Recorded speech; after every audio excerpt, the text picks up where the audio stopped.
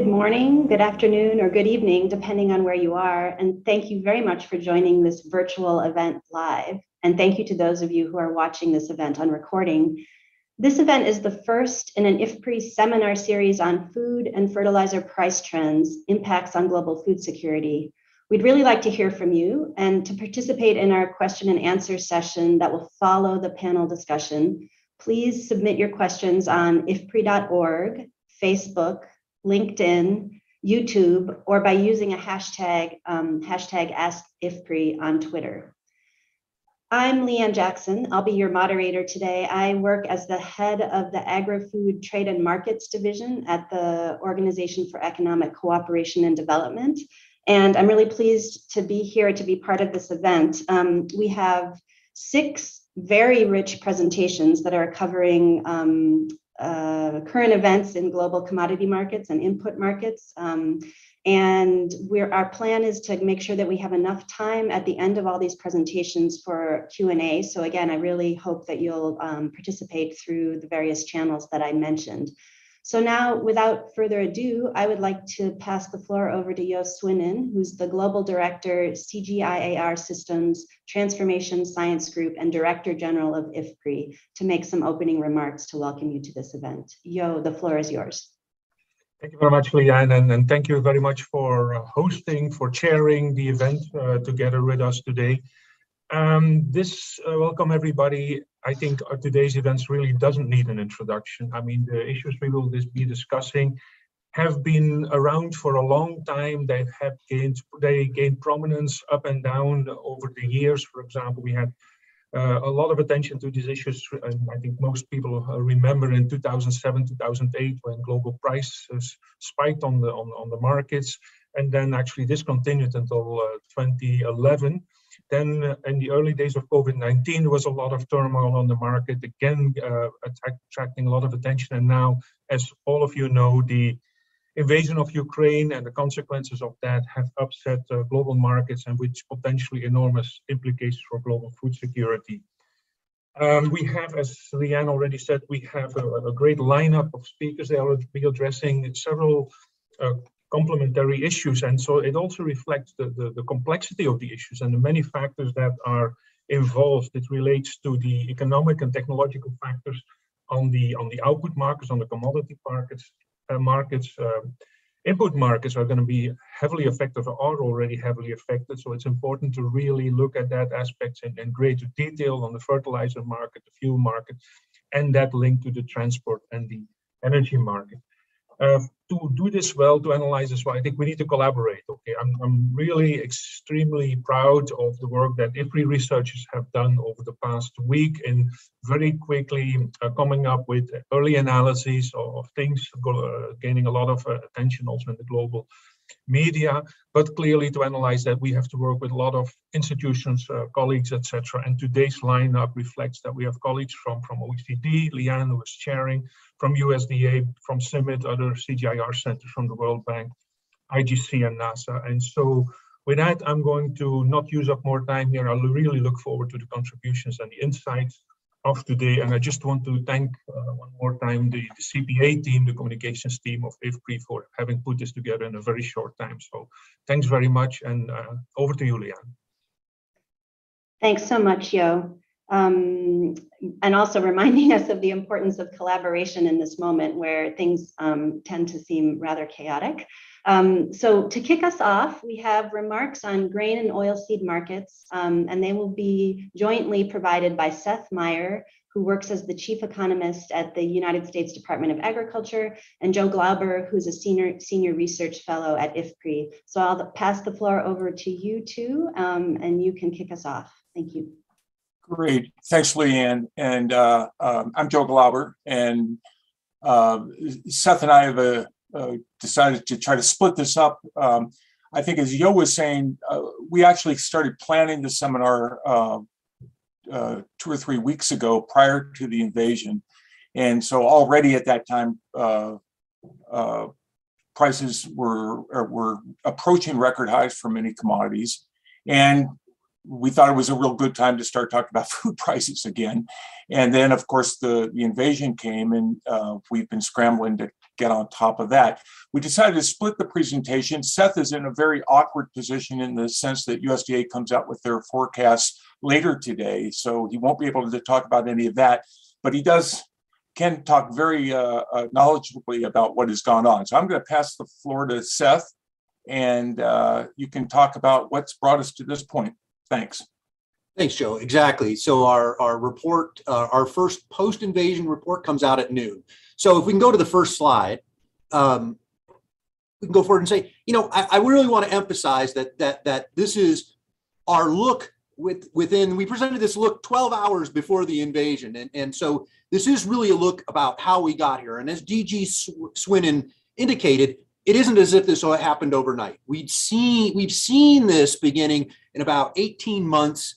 Uh, we've seen commodity prices rising, and you can look here and you can look at the main commodity markets of corn, soybeans, and wheat over the last several years. And this is global production and global consumption. So if production exceeds consumption, we add to stocks, and if consumption exceeds production, we draw down stocks. And you can see that, you know, generally speaking, markets have bounced around between 2015 and 2019 sometimes building stocks, particularly in wheat, where we built stocks almost every year in this period. But we find ourselves in um, the somewhat unique position of being tight corn, soybeans, and wheat as we enter this uh, as we enter this coming season. Next slide. And again, it isn't as if this has happened overnight. When we look at prices for wheat, corn, and soybeans, and this graph ends when I gave this presentation on February 23rd, you can see that we saw global, we saw soybeans and corn prices in particular start to rise in the fall of 2020. We had had some depression of demand for some of these commodities as we sorted demand out through COVID, and demand really picked up. China came into the market, world global ag market very strongly in the fall of 2020. Uh, other countries held their positions very strongly despite rising prices. Global markets really tightened up, led by corn and soybeans, and really drow, dr- uh, drug wheat along. Wheat prices were rising simply because of commodity price competition.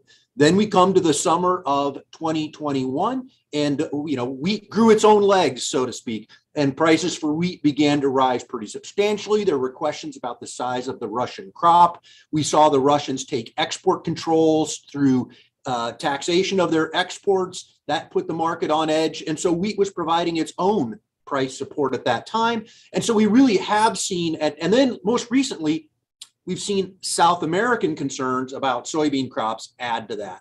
So we really have seen at different periods each of these, each events adding some pressure to global commodity prices. Next slide.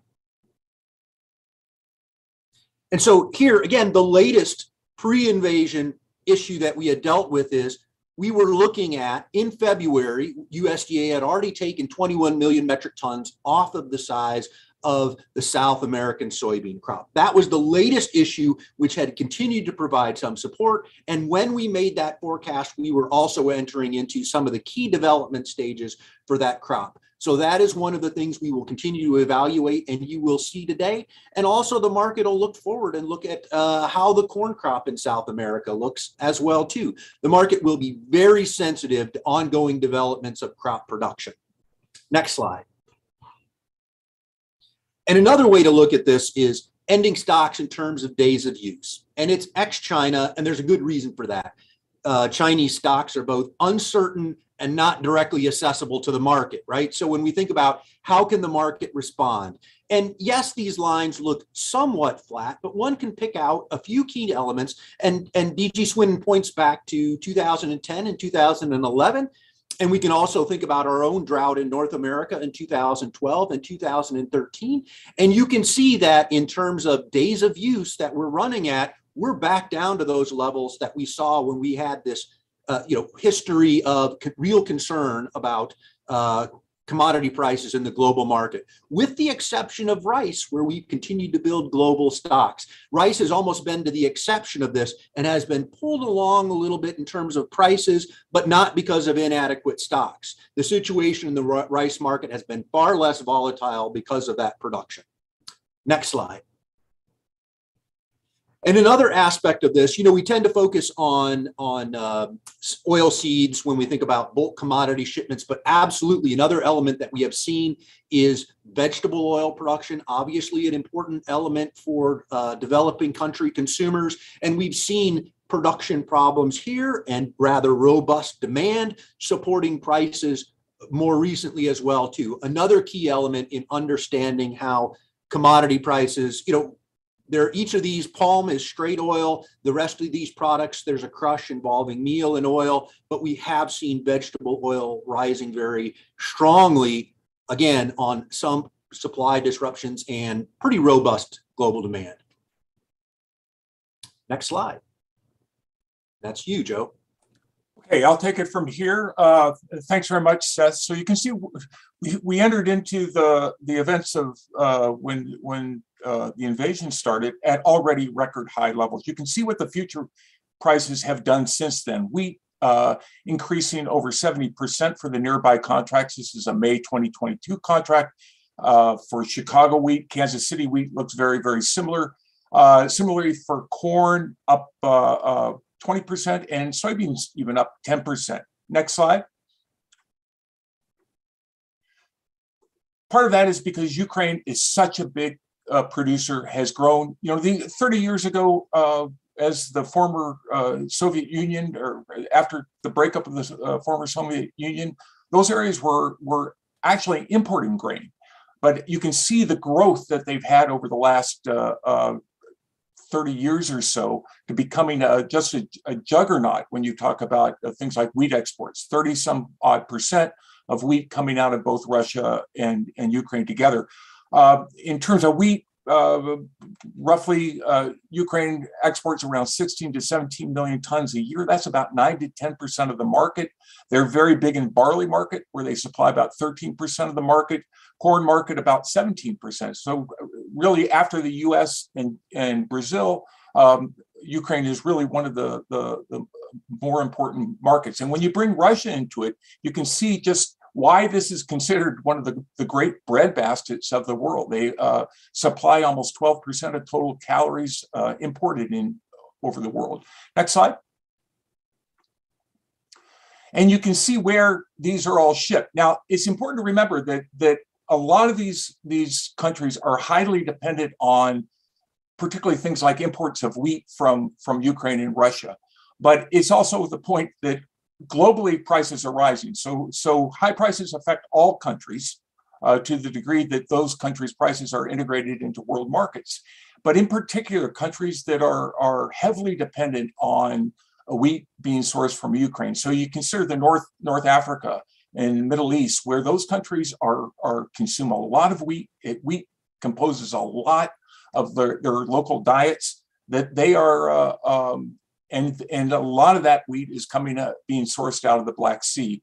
So uh, again, this is immediately disruptive to some of those countries as they now scramble for supplies.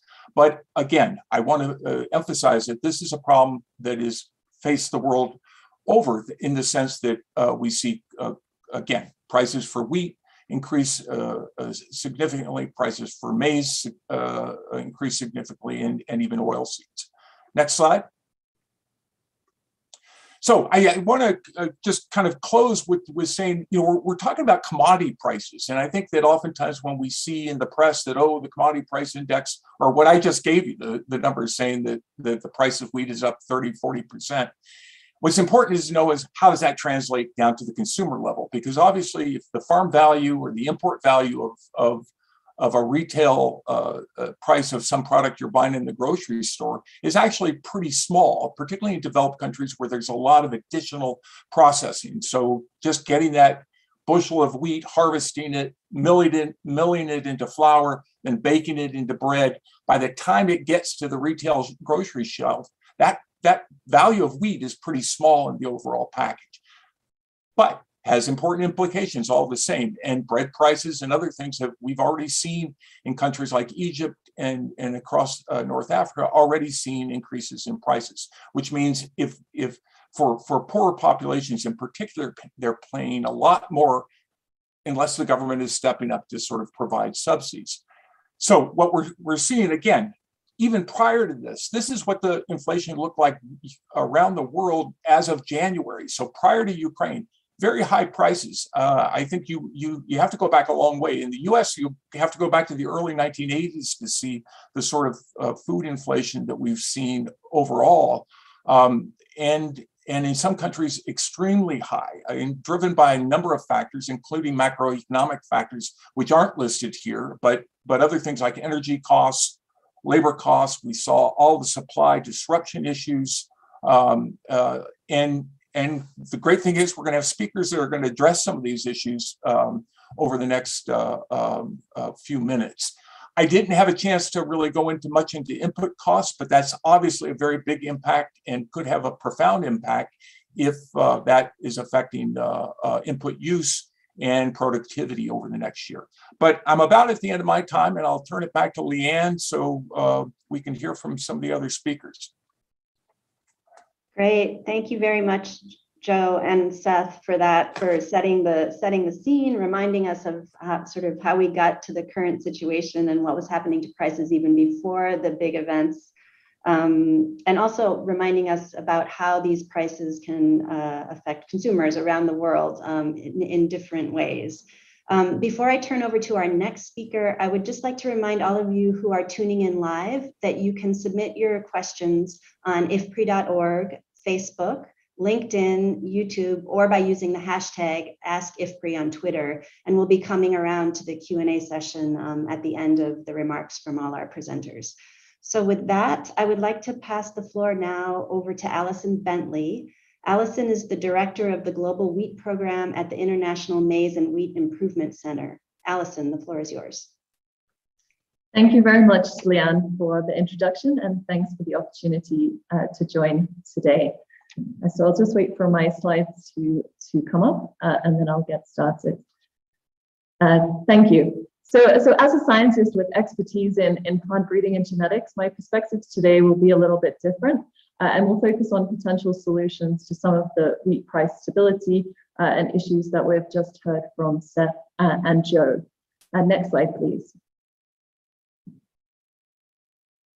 For the context, it's important to start with the essential role of wheat uh, in global food security. Uh, eaten by 2.5 billion people globally, uh, here we can visualize the importance of wheat's role in human diets uh, by looking at the ranking of daily dietary energy from food crops, excluding sugar.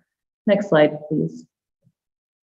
We see that the current crisis, which is occurring between two of the world's leading wheat exporters, having these immediate effects on wheat prices, as we've just heard, uh, which were already rising before the crisis. Given the scale of wheat consumption, which we also uh, recognize, this is likely to have short, medium, and long-term effects on the markets, as well as on global food security. Uh, it's important to recognize that this isn't the first time we've been here, uh, and therefore we have an opportunity to learn from past events. Uh, and part of this is clarifying the tangible actions that we can take. Uh, and today I'm going to briefly highlight some of these uh, potential uh, actions. So here we have a, have a list in terms of increasing productivity, expanding our wheat production, de-risking sources of short-term supply, uh, supporting a variety of paths to self-reliance, uh, and balancing the narrative, the food system, uh, food and systems diversity. Uh, across this, we also see an essential demand for new ways of working in terms of the funding models for agricultural development, the risk appetites and timeframes from our, our donors, uh, and the mechanisms we employ to integrate across diverse disciplines, uh, particularly highlighting here strong cross-disciplinarity between biological and social sciences. Next slide, please. As many have reported, and as we've just seen uh, from the previous presentation, part of the effect of the current crisis in terms of wheat stems from the strong reliance for exports uh, from a limited number of countries, uh, in this map on the left, you can see uh, the current dominance of both Russia and Ukraine in terms of the global wheat export. Uh, and I also direct you to the link at the bottom of the page for a dynamic visualization of how this export landscape has changed over the past 60 or so years. Uh, we also know as wheat scientists and wheat breeders that over 6 million hectares of winter wheat uh, are growing in farmers' fields in Ukraine, uh, and the fate of this wheat in entering the global or even domestic market uh, is as yet unknown uh, and creates further uncertainty for the future. Next slide, please. If we if we look at the uh, next next one, please. If we look at the other side of the coin in terms of the imports uh, that we see across the world, we develop the picture of the likely short-term impacts as already highlighted in the previous presentation, with some countries likely to be hardest hit by the immediate restrictions to export. Uh, these maps here show the three-year average of imports by volume, uh, and we can see the particular Im impacts in Egypt, Turkey, Sudan, Yemen, Pakistan, Bangladesh, and parts of Southeast Asia, uh, and including regions where we know food security levels are at an all-time high. Next slide, please. So what have we learned from 2008 until today? Uh, it's clear that the issue attention cycles on global food systems are restarting with the potential to increase investment in international agriculture, uh, as is shown here from this previous graph on the left of CG funding peaks uh, linked directly to the last food crisis. But our key questions for 2022 in terms of applied solutions uh, are, can we create a more sustained value proposition for stability by investing in medium and long-term solutions to short-term uh, crises or, or, situations in the global food system? Uh, can we minimize the time lag and the fragmentation uh, across the international agricultural development space uh, and can we build on existing capacity, really believing now is the time to, to embed stronger linkages with humanitarian organizations uh, and aims. Next slide, please. So looking beyond the ways of working, we're also pro proposing a wheat system agenda that's based around the comparative advantage of our current predominantly biophysical research and knowledge base. Uh, I'll briefly outline uh, some of the core aspects of this. Uh, first, as shown here, is increasing and expanding production, both to meet immediate demands and also to drive export potential. This includes three categories, our current areas, either expanding or optimizing production, along with the initiation of new areas of production. All of these uh, options and, and areas have various uh, underpinning and associated, associated considerations, uh, some of which are, are listed here.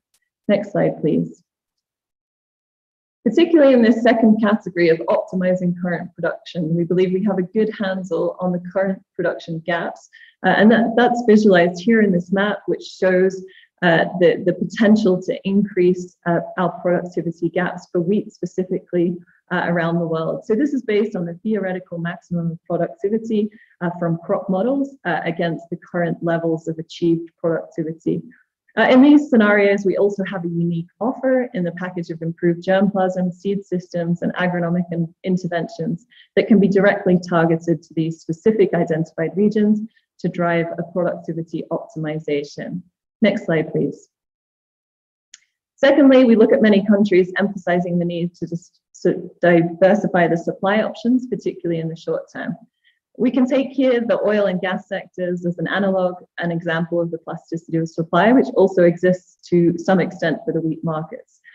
Uh, a number of governments have announced bilateral arrangements to purchase, for example, Russian wheat or to make supply available for exports, such as India. Uh, next uh, animation, please. Um, although this may help to stabilize the current supply situation, as a plant breeder, uh, I'm very aware of the inherent risks in terms of both the market as well as the biological fragility of our wheat production globally. For example, the quarantine pathogen dwarf bunt has previously restricted wheat imports by China from Russia due to the widespread pathogen damage potential uh, of this quarantine, uh, quarantine uh, pathogen. We therefore need strong safeguards in place to protect our future production uh, and to reduce the risks of new pandemics of plant diseases which are catalyzed by the immediate need for grain. Next slide, please. We, we and the next animation, sorry. we also know that devastating pathogens move with the global seed trade. The story of wheat blast, which is one that's shown here at the DNA level, tells us that pandemic clones of plant pathogens can move rapidly between continents and across borders. Given we now have a, a, DNA sequence level of resolution on our plant pathogens, we propose a scaling up of this capacity for surveillance. We're all very familiar with getting a negative COVID test before traveling, uh, and we propose a similar system for seed, uh, for the seed trade. next slide, please.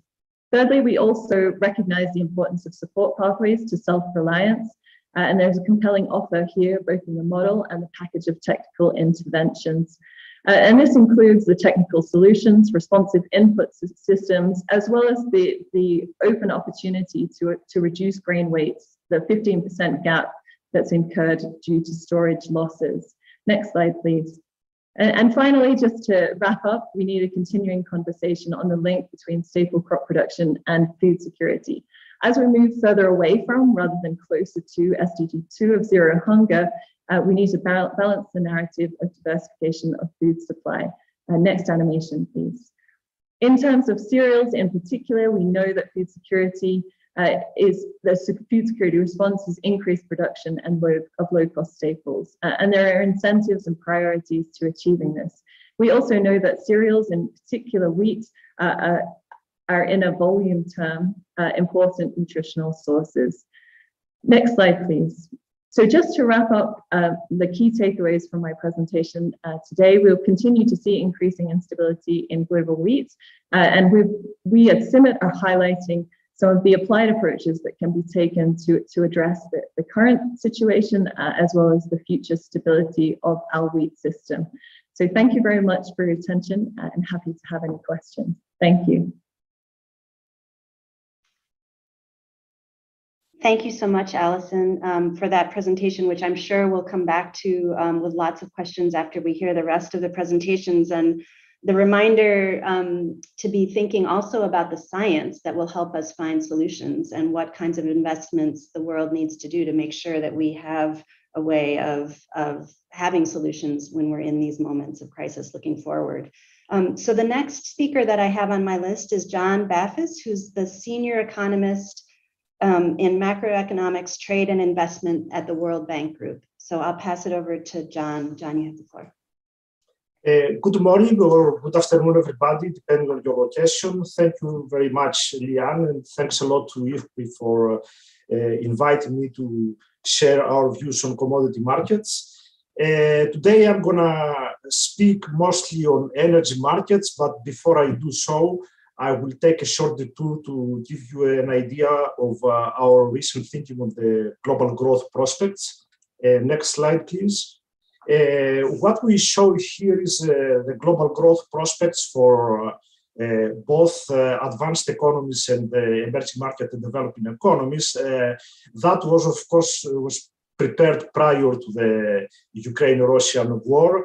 Uh, it was published in January uh, of this year, and uh, the point I would like to highlight here that relates to the point made earlier by Joe is that uh, what uh, sort of surprised uh, us during this COVID-19 downturn is the speed and the strength of the recovery that took place in the world economy.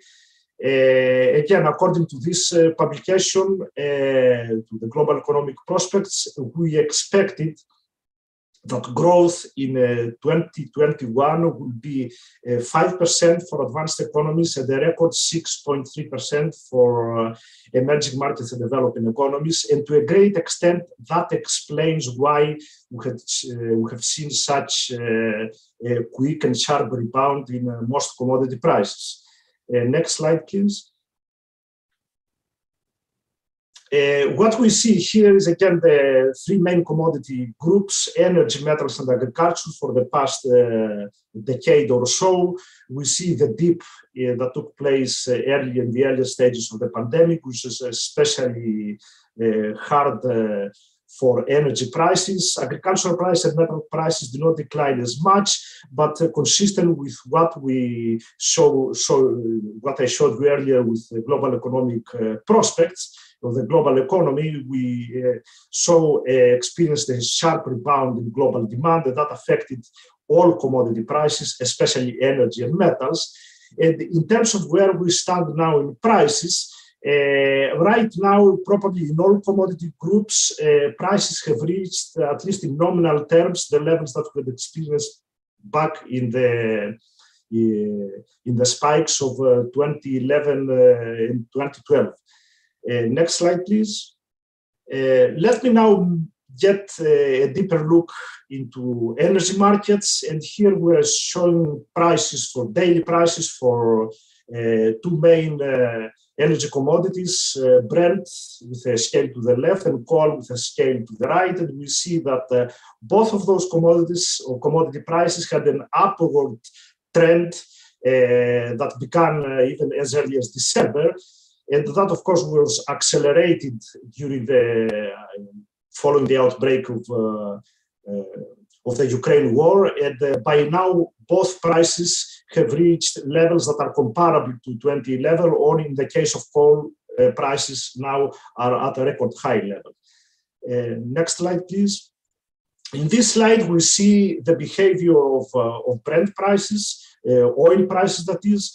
Here we look at the, the futures prices, which is a way of assessing what the markets look about the long-term evolution of, uh, uh, of oil prices. We have taken the uh, the three contracts, uh, futures contracts for Brent for the next uh, for the next three to four years, and we basically took three pictures. One uh, on January 3rd, which was the first day of the of this year. The second of February 1, uh, which already incorporates some of the events that uh, were going to unfold in between Ukraine and Russia. And we have the contracts, the, how contracts uh, evolved in March 1st, which pretty much fully incorporates the, the Russian-Ukraine uh, war. And uh, what we see is that uh, in between January 3 and March 1st, Brent prices in spot, the spot Brent price, so to speak, or the first futures contract, they increase about uh, 25 or I would say 30 dollars. Of course, there has been quite a bit of volatility in the last few days, and that depends on which day you account. It was three days ago two days ago. So it's about 30 dollars the increase in between uh, early January and now. Now, when we look at uh, what is going to happen again, according to the futures markets, what's going to happen down the road, uh, at the end of 2025, uh, the increase is translated to about $10. So uh, the expectation, according to the futures markets, is that the long run, so to speak, price of oil is going to be about $10 higher than what it would have been in the absence, uh, in the absence of the Ukraine war. Next slide, please. Of course, those are short-term movements. They have a, we have experienced a lot of volatility. So I thought it would be uh, wise to look at the history of uh, energy commodity prices. And uh, here I'm uh, looking at the prices of oil that from 1970 until now. Uh, now I have taken those prices and converted them into real terms, and in real terms uh, based on uh, January 2022, which means that all the prices that you see here are in today's terms. Uh, the March, uh, during the first week of March, oil prices uh, averaged about $115 per barrel. And when we compare that to the history, the highest level that we had experienced was in June 2008. It was prior during the, the spikes of 2007, 2008. And in today's terms, uh, oil back then reached a high of uh, $171 per, per barrel.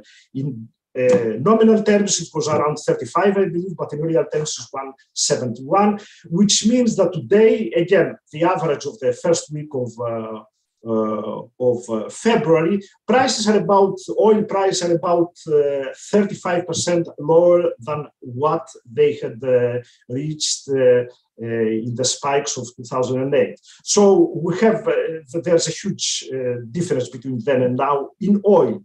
Now, uh, next slide, please. When we move to other markets, the, the picture is uh, quite different. Here we're also showing coal prices uh, for the same period, 1970 to now, the first week of, uh, of February. And what we see now that coal has reached almost $400 per ton. And the highest that we had seen, again, in today's real terms, it was back, again, back in June of 2008, which was to uh, $132 per ton. So what we see here that in coal price, at least prices today are twice as much as they used to be in the spike of 2008. Next slide, please. When we move to natural gas, uh, natural gas is a very complicated market because there's uh, natural gas is traded both in LNG form as well as uh, through pipelines, and depending on which price you are looking at, you're uh, arriving kind of uh, different conclusions. Uh, if we take the index, an index of natural gas prices, which excludes the spot pricing that takes place in LNG and in Europe, uh, again, the index here is a bit higher. Uh, the index today is at uh, 330, which is slightly higher than what it was at its peak of June 2008. Now, when we take into account uh, the spot pricing, especially the one that takes place now in Europe, we all know that prices of uh, spot prices in uh, in Europe have uh, uh, are higher, perhaps by an order of magnitude compared to what uh, the prices that we had seen earlier in last summer. And that's pretty much the case with some LNG prices again in in spot terms. next slide, please. So the big question, of course, is uh, to forecast. Uh, that's what we are here just to get an assessment or to to build a framework of uh, uh, how commodity markets are, are, are, going to evolve in the near future, in the longer term. Uh, forecasting right now is an extremely difficult and dangerous exercise. Uh, so instead, uh, what we do here is we took a, a longer, sort of longer term view of the history and we try to identify which event in commodity markets uh, resembles best historical events there are at least uh, six events uh, in the history of commodity markets after the Second World War that involved the geopolitical, uh, the military intervention. And those were Korean War, the 1972 oil price shock, 1979 uh, second oil price shock, the first Gulf War, September 11th attacks, and uh, the second Gulf War. So we have six events. It's not easy to find the similarities between the 1970 uh, crisis and today. But uh, in my opinion, the, perhaps the, the greatest similarity is what unfolded in the, the second oil shock in 1979. And here I'm outlining the similarities. The first similarity is that in 1979, commodity markets were already under great stress, and that was because of the first uh, oil price spike, uh, subsequent geopolitical tensions in the Middle East, as well as market tensions between the oil companies and the oil producing nations. When we look at today, we can see, it was clearly explained by the previous speakers, that markets are under great stress, commodity markets that is. We have COVID-19 uh, supply disruptions early in the COVID-19 phase. We had stronger, stronger than expected global growth. Uh, which uh, had a positive, huge positive shock in commodity markets. And another reason is that we also have a kind of longer trend uh, taking place now, probably I would say as much as five years or more than that, and that's what uh, I would call uh, underinvestment in quotation marks in fossil fuels in response to uh, climate change. In terms of the second similarity, we have uh, both uh, shocks uh, were associated with conflict, Iranian revolution in Iraq, Iran-Iraq war in 1979, Russia-Ukraine war now. Uh, there's a third similarity, but uh, that back then we had a demand-driven transition from oil to coal and other types of energy sources, which included natural gas, renewable sources, and nuclear power generation. We have another transition going on today, which is the climate uh, change-driven transition from uh, fossil fuel oils to renewable energy sources. Lastly, uh, there's another sort of, I wouldn't call it similarity, I would call it difference, and that's very important for the current debate, that the energy crisis in 1979 was led mostly by oil. The energy crisis uh, today is led by coal and natural gas. That's very important for, uh, for the context of our discussion because uh, coal and natural gas is a key input to electricity. Uh, is also a key input to fertilizers, and both electricity and fertilizers co combined collectively play a large role as input sources in uh, production of food and agriculture in general. So, what were the consequences of the 1979 uh, crisis? Uh, I call them economics 101, borrowing the North uh, American tradition in the university system, which, um, uh, and by that I imply those are kind of predictable and expected by basic economic principles, the consequence, I mean, the outcome of the 1979 crisis. Uh, and that is that uh, uh, we had the energy saving policies back then. Uh, we also have a lot of announcements in energy saving policies now. Uh, we had uh, what uh, analysts and economists call this demand destruction. When prices exceed a certain level, then demand falls quite a lot. We have back then we had the new sources of oil, Alaska, Gulf of Mexico, and the North Sea, simply a, a, response to the, to the high oil prices. And we also had substitution of oil by other energy sources. So those are the four sort of reactions that took place after the spike and the subsequent decline in prices of uh, uh, in the shock of 1979. Let me also mention that back in 1979, prices were increasing sharply for about 12 months, but the decline took much longer. It took about uh, six to seven years. At the, the lower point of the decline, which, low, which was much lower than uh, the increase.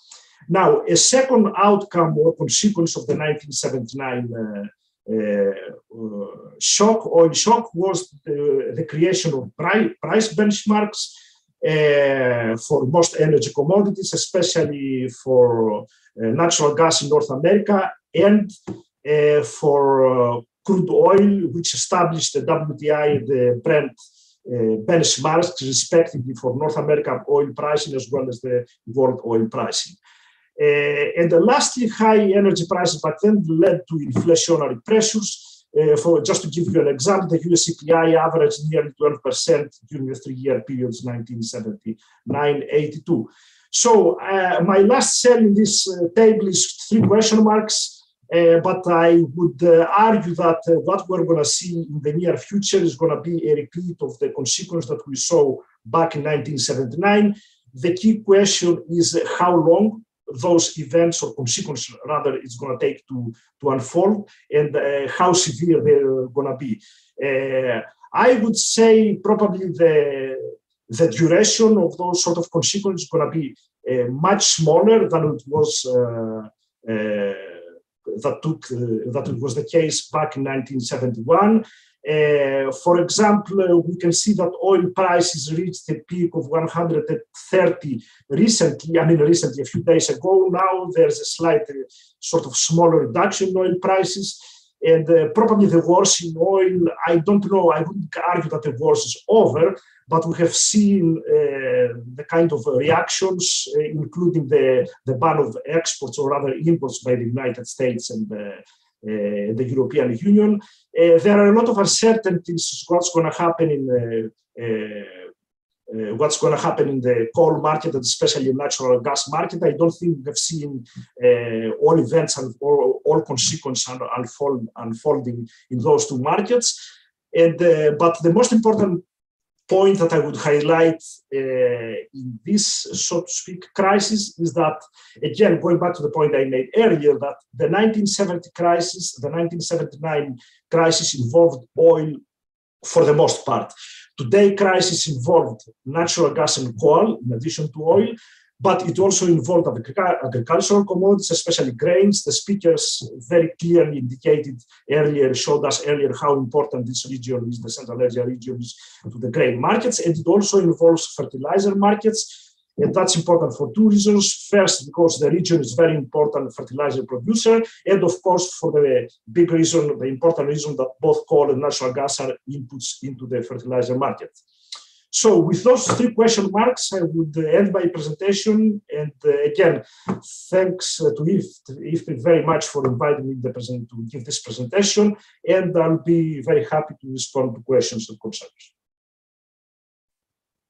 Great. Thank you so much, John, for those remarks about the energy markets, um, which also remind us how important energy is in terms of agricultural commodity markets and the implications that what's going on in energy is going to spill over into commodity markets, and also for highlighting um, the similarities and differences between previous situations in 1979, where we had um, energy crisis, and um, compared to what's going on now. And one of the things that really stuck out to me also was the slide, the line that you said, um, now we're also dealing with climate change and potential change in demand for different types of um, sources of energy. So that to me seems like another interesting area of potential uncertainty in this moment. Um, so with that, um, actually, this is a nice segue. We're switching now to transportation markets.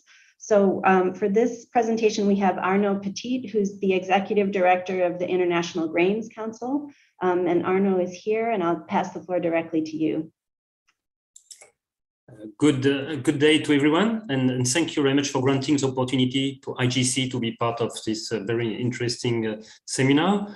Um, and I would say, next slide, please, that IGC sharing information is also part of our DNA. So I really uh, uh, very uh, looking forward this exchange of information. Just here this slide to remind that when we look about grains at IGC, we look always about both sides as a market, but also as we are implementing the Food Assistance Convention, it is also about food security uh, for uh, needy countries. So definitively, uh, it's the topics you are addressing today is something also we, we are always confronting on a, on a daily basis.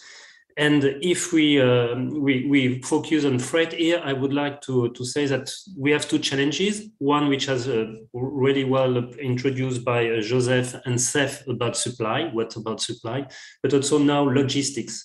And the freight market is very good indicators to look about how the market may adapt to this new situation. Uh, next slide, please.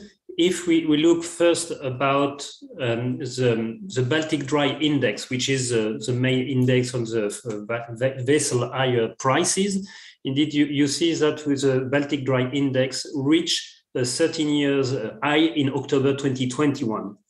And these values uh, have dropped uh, since by uh, to, to have down by 62% from October, and the losses in grains, oil seeds, and the of carrying sectors by one third. The reasons of the drop are mainly the worries about the Chinese demand, among the sign of an economic slowdown and a coal export ban in Indonesia in early 2022. If and now what we have did for IGC, we set up a specific index of freight dedicated to grain. So indeed here we are only monitoring the hiring price of vessels dedicated to grains. We uh, also built up a monitoring of the cost of loading, the cost of fuel, and rebuilt all the routes, so for 430 routes.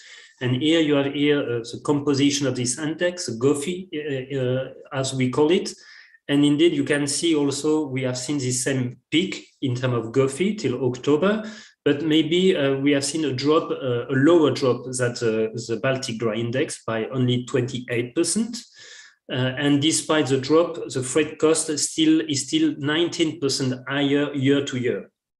So that's something also to bear in mind. So the, what means the logistic and the freight in the grain sector is still under tension.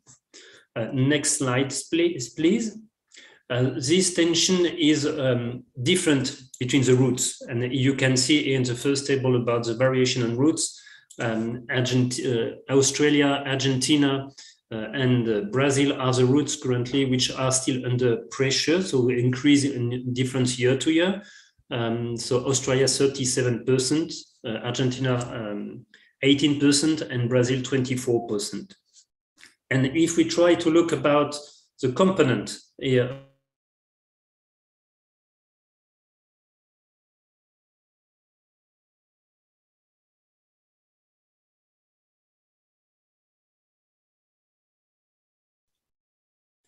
sorry for my internet connection.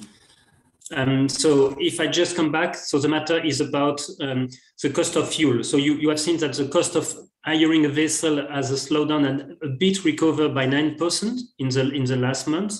But indeed, the real change has been the cost of, um, of, of fuel. Sorry, I try to uh, have a better. So now, uh, next slide, please.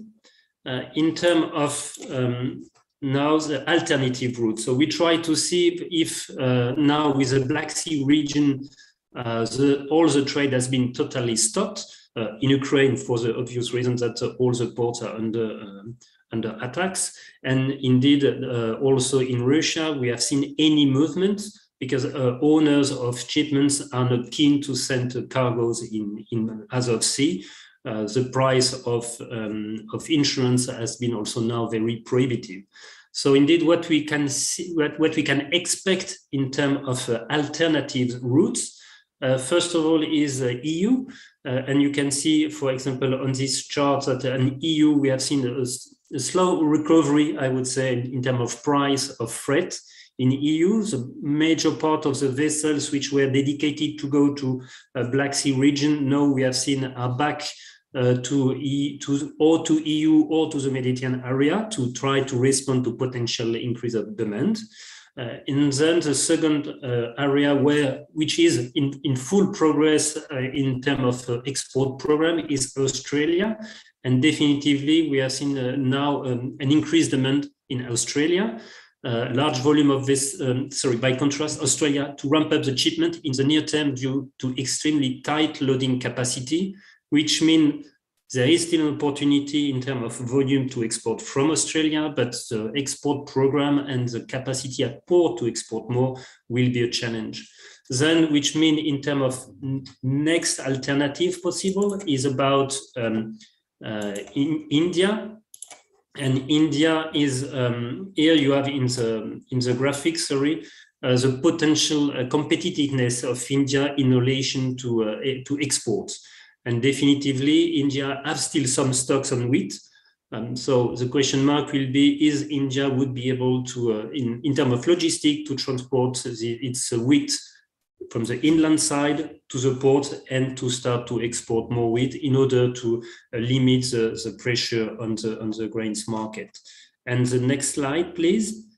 Um, Yes, so in the next slide, so if uh, we, we take into account and what we have seen in terms of uh, cost of fuel and the, and the crude oil market, what we you see here is definitively the routes, longer routes uh, would be mainly impacted. And when we're talking about the longer routes is from South uh, America uh, to China, for example, where the, the, the share of, of oil or cost of fuel is the most important. And to give you uh, more or less uh, an impact is for every $10 uh, barrel more on the crude oil market, indeed you have an overcost of $3 a ton uh, for transportation of grains. So which means from the beginning of the crisis, the, we could assess that as we have seen the the, the market, the dollar, the crude oil markets sorry, increased by 40, 50 dollar barrel, which you can translate indeed by uh, nine to uh, 12 more or less dollar more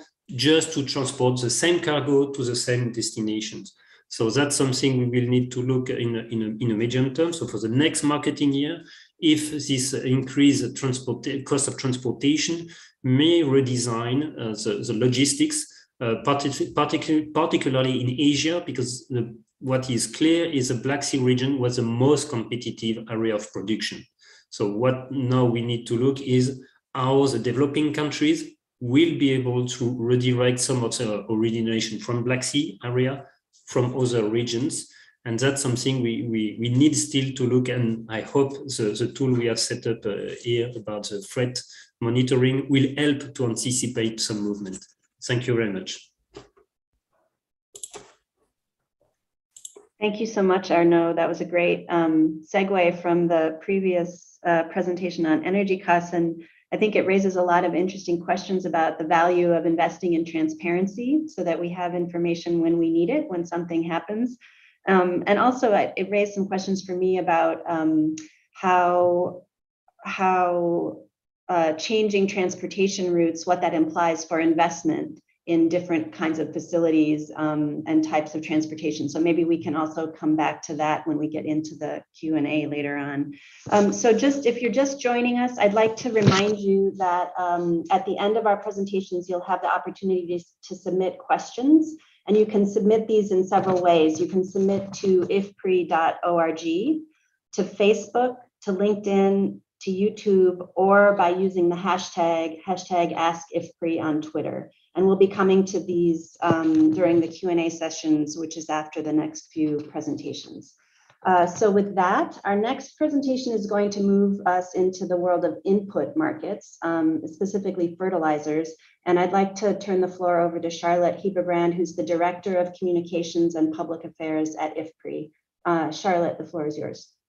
Thank you very much, Leanne, and uh, thanks for all the preceding speakers for setting the scene very nicely for what's happening in, in fertilizers. Um, just to say that I'm uh, sort of wearing an old hat here. I spent eight years with the International Fertilizer Association, and I thank them for some of the data, as well as the World Bank for the, the price data that I'll be showing. Um, so I'll be um, showing you some of the price trends. Um, if you can pull up the, yeah, the title page, that's great. I'll, I'll briefly go through some of the price trends, and then I'd like to address some sort of unique characteristics of the fertilizer value chain with a view to explaining why the, the, the fertilizer sector might be particularly vulnerable to disruptions. Um, then we'll look at some drivers of fertilizer supply and demand, all of which kicked in a lot already in 2021 to increase prices. And then I'm going to end with just some thoughts about what might lie ahead. Uh, next slide, please. So here, uh, this is data from the World Bank, and I think we've made that point already uh, numerous times. You can see that really fertilizers, agricultural commodity prices, energy prices are pretty closely interwoven, uh, joined at the hip, uh, one might say. And uh, the, the green line here is the composite, right? So it's nitrogen, um, phosphate, and potash fertilizers.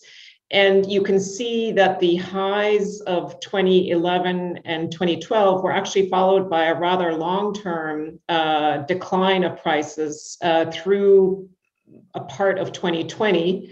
And then you can see a, a sharp increase uh, that, that took place for most of 2021. Um, and, and just in the very last bit there, and, and you can see here the, the COVID era is actually goes up until, it says September 21 on the bottom, but it's actually up to today. And, and there was a slight decrease in prices just uh, uh, in the beginning of the year. February still showed us a slight decrease, but that is uh, not likely to, to remain the trend. Next slide, please.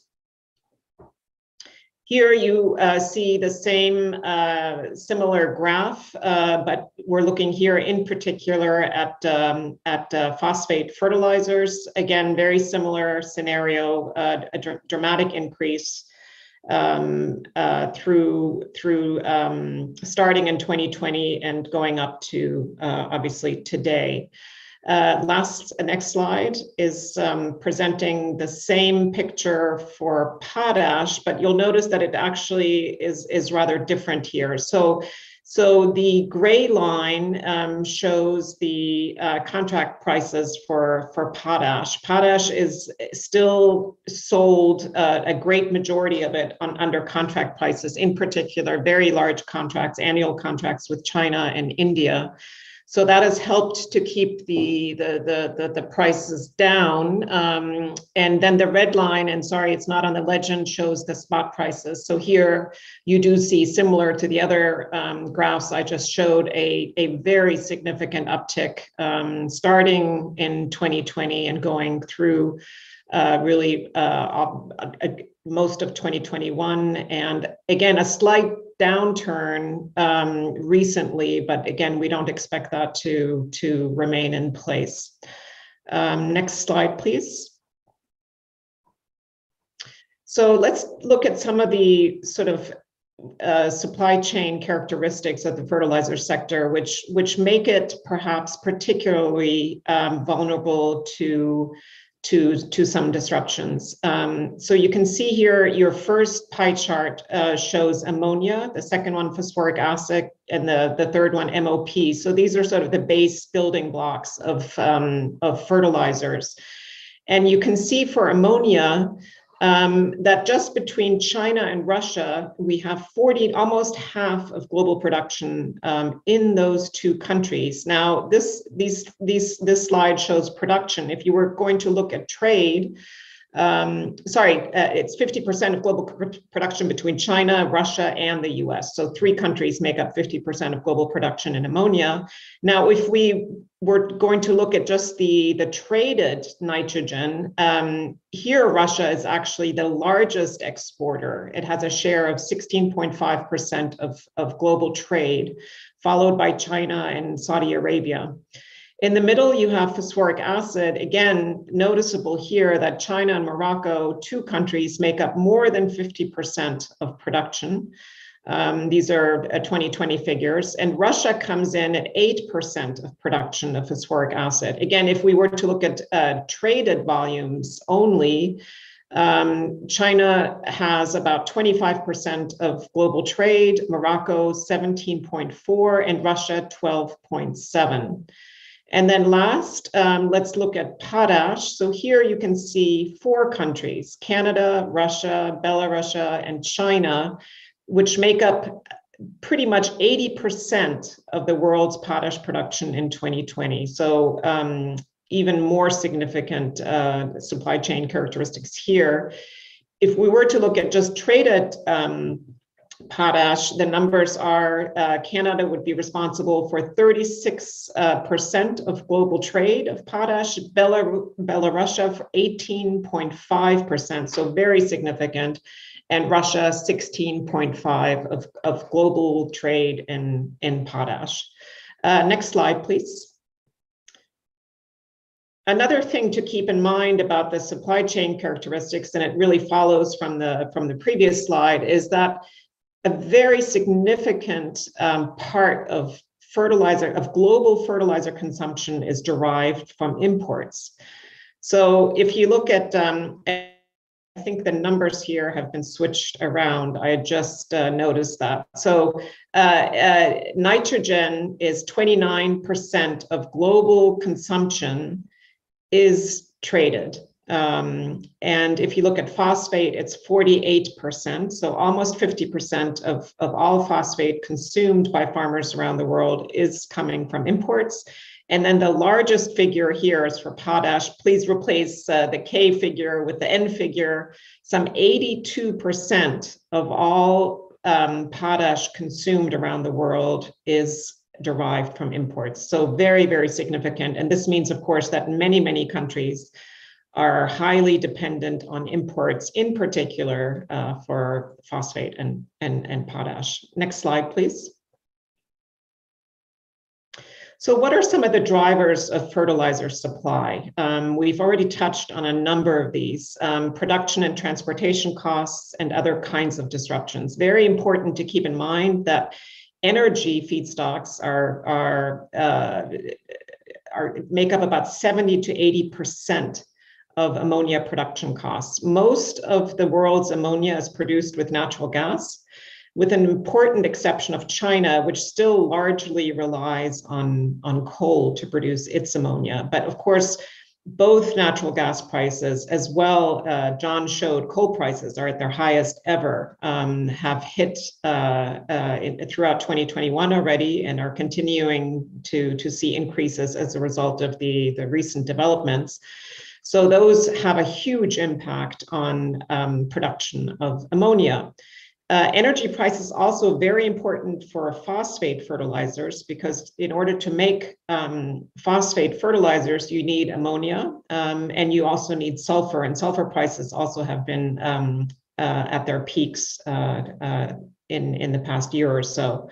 So we've seen already in 2021 ammonia production cuts in Europe and China. Um, just today, uh, Yara, the second largest um, ammonia and urea producer, um, has announced that they are now uh, cutting their production of ammonia and urea in Europe by 55%. So, uh, as a result, of course, of the announcements also of yesterday that um, uh, Europe is, is looking to phase out uh, uh, using natural gas from Russia. Um, their, their plan is to phase it out by two thirds already um, by the end of this year, and then to completely phase it out by 2030. And of course, the US has also uh, announced uh, um, just yesterday its import ban on Russian oil. It hits Europe, of course, much harder since there's a much greater reliance there on, on Russian energy. Um, also in, in 2021, you did see some, some weather related problems that also led to temporary outages on the production side. Now, trade measures also have a huge impact on, on fertilizer supply. And throughout 2021, there were a number of measures, whether those were trade remedies that were imposed, export freezes by countries that are worried about, uh, uh, they, they want to keep fertilizers for their own farmers. Um, um, and then you also had export quotas and uh, in a number of countries and a complete um, halt of exports. And then, of course, sanctions on Belarus were already applied last year, but just now in March, um, there has been further expansion of those sanctions, which now very much hit the potash uh, sector as well. Next slide, please. Uh, on the fertilizer demand side, of course, uh, higher crop prices tend to drive up prices of fertilizers. Um, important to think about the fertilizer crop price ratio. Farmers in countries that are also benefiting from higher crop prices can perhaps weather higher input prices, but that is, of course, not true for all farmers around the world. Um, weather in producing countries plays a huge impact on demand. And then fertilizer subsidies is another huge demand driver. Uh, we estimate that about 50% of fertilizer demand is actually driven by fertilizer subsidies. So that is a huge component. Um, so I just wanted to briefly show here the changes in fertilizer demand. Um, and these uh, figures come from the International Fertilizer Association. You can see that there was a huge uptick in fertilizer demand um, in 2020, 20, uh, 20, these are fertilizer years of 6.3%. So similar to some of the other presentations, this was really the roar back of demand uh, uh, after the, the, the, first year of COVID. Um, next slide, please. And what these are just sort of questions there. I don't think we have good answers yet, but these are things to think about as we watch the fertilizer sector um, moving ahead. So, what's in store for the weather and harvests? In particular, of course, in Ukraine, um, what will happen to the harvest? What will happen? Will they be able to get the harvest out? Um, energy prices certainly, it looks like we're in for more increases. Um, agricultural commodity prices, uh, I imagine, will also be in for further increases. Uh, that will translate into more production um, costs for the fertilizer industry, but there is going to be some new production capacity coming on stream. India is really trying to ramp up its own ammonia and, and urea production. There is um, capacity coming on stream in Nigeria and Brunei. Big question, of course, about sanctions as well as export restrictions. And government subsidies. India last year increased its fertilizer um, subsidy budget by 140%. Um, can all countries do that? Um, uh, that's a big, big question mark. So will all of this, all these high prices lead to potential demand destruction? And then in green, I've put some, some maybe longer term questions, but there are serious dangers uh, already fertilizers are not applied really in a balanced fashion. So when prices go up this high, farmers tend to really skimp on potash and phosphate, which has implications for soil health. Um, fertilizer use efficiency is not great already. Um, so perhaps one positive aspect of this crisis might be that farmers really start to think about um, applying fertilizers in a more efficient way so that less nutrients are wasted um, or lost to the environment and more of them are taken up by, by crops. And then the, the, the, the, energy prices, perhaps they could trigger a move towards more so-called green fertilizers. There's a lot of excitement about things like green ammonia, which is produced from, uh, from electrolysis which which can be powered by uh, renewable energy. Um, so perhaps that could be an impetus, a further impetus for those kinds of um, fertilizers and, and increased efficiency. Thank you very much. Thank you so much, Charlotte, um, and also for bringing out some of these questions about policies and government intervention around trade restrictions and sanctions and how those those can have a big impact on markets, obviously. And I also appreciated your comment about subsidies because, of course, we know all these policies are also affecting the way markets can adjust in these moments where there are big changes happening. And finally, um, I appreciated that you ended with this forward-looking question, including the question of what, about what the results are for soils, because of course, um, maybe not in the short term right now, but we will, we need to be thinking about those kinds of long-term investments as well um, as we think about resilient and sustainable um, ag commodity markets. So with that, um, I now um, am going to turn to a presentation that's focusing on crop conditions. And for that, we have Inbal Becker Reshef with us. She's the director of the NASA Harvest and Research Professor at the University of Maryland. I didn't get that quite right, sorry, Inbal. Um, but I'm really looking forward to, to your presentation. I know you have a lot of great granular information that you're going to share with us. So um, you have the floor. Great. Thank you very much for, for that introduction. Um, I am the director of NASA Harvest, which is NASA's food security and agriculture program, um, but also wear another hat, which I'll talk a little bit more about as well, um, within the G20 GEOGLAM Secretariat. So um, just very brief context, um, both of those programs, sorry, next, yeah. Um, both of those programs, both NASA Harvest and, and GEOGLAM are very much focused on the use of satellite Earth observations um, for enabling us to better monitor globally food supplies and, and uh, crop production.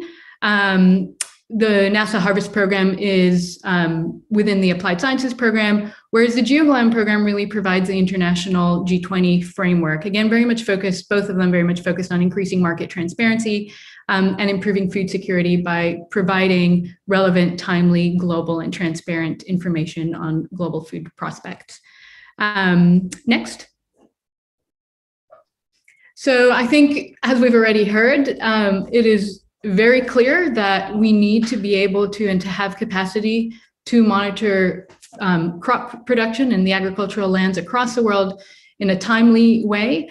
Um, and that can be more true than, than it is today. I think if you look at the origins, in fact, of satellite um, observations and, and, monitoring in particular for agriculture, that goes all the way back to the early days of satellite monitoring.